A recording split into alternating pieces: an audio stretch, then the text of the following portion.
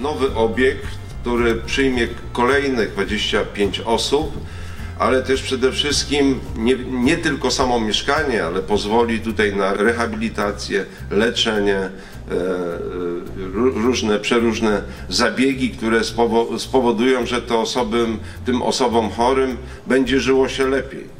Albo maksymalnie dobrze, jak tylko to możliwe ze względu na, na ich schorzenia. I tutaj również przy realizacji tego zadania, które wykonywała lokalna firma, z czego się cieszę, firma Hadżyński z Kotlina, z terenu naszego powiatu za kwotę około 2 milionów złotych.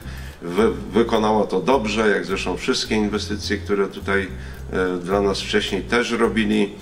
Nie tylko wydaliśmy pieniądze, ale te pieniądze przerobiły, przerobiła lokalna firma i lokalni mieszkańcy z terenu naszego powiatu, bo wiadomo, że to jest też dodatkowy atut e, wydawanych pieniędzy, kiedy tutaj one pozostają.